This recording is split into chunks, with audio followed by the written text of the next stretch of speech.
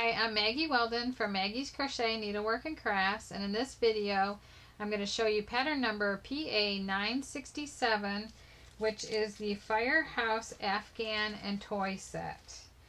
All of these patterns come in one pattern and these are available at maggiescrochet.com and this was designed by Marie Murray and Rosemary Fagan who's her daughter and um, I thought I'd show you the Afghan here. Um, it started at the bottom with the red and you work up and then you change colors to the blue and then this is um, crocheted separately the roof and as is this and then you there's also color changes in here for the brown and if you need help with color changes I have several videos on YouTube to help you master color changing because I do that a lot in my uh, different designs that I have on the website.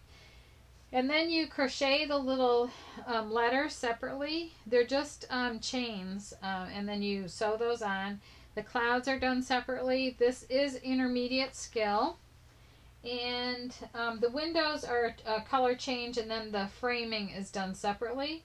And this adorable Dalmatian is separate and sewn on and he's even got a little helmet with a little um, it was done in like a gold lame yarn uh, for the little badge that goes on top of their their helmets. So that is adorable. And then the toys are this adorable little Dalmatian dog. It's just brilliant. Look at that. So cute.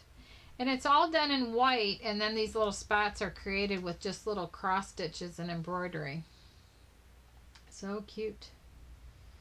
And then here is the fire hydrant. So kids would just love to play with this set. So there's the fire hydrant and the Afghan and the little Dalmatian toy. So this is, um, let me see, the, uh, the Afghan is 38 inches square and then the uh, pattern number is PA867 and this is available at maggiescrochet.com. I hope you enjoy crochet. Thank you for watching.